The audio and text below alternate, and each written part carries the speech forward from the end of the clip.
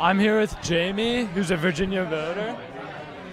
Uh, Jaime, this is your first time voting in a swing state. How does it feel, and how does it differ from voting in a state that typically leans to the left? It's completely different. I'm born and raised in New York City, and that's a very solid Democratic area. Here in Virginia, it's obviously a swing state, tends Republican, but here you really have an impact. You know that you what what you vote will make a difference.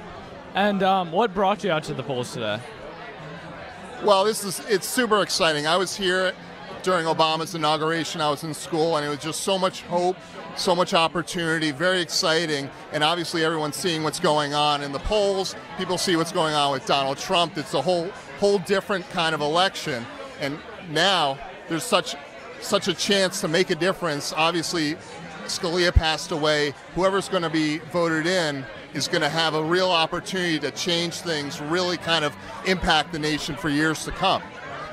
And what issues do you think are important, especially in this election cycle? Well, cl- clearly, certainly on the Republican side, there's a lot of anger, animosity. People are real enamored with Trump, and he has a lot of uh, excitement, entertainment to share. But to me, the most important are the social issues and the economy. I mean, the economy drives everything. It's going to really influence where the country goes and what we can do and what kind of opportunities we have. Um, what do you hope that the country looks like in four years due to this election cycle?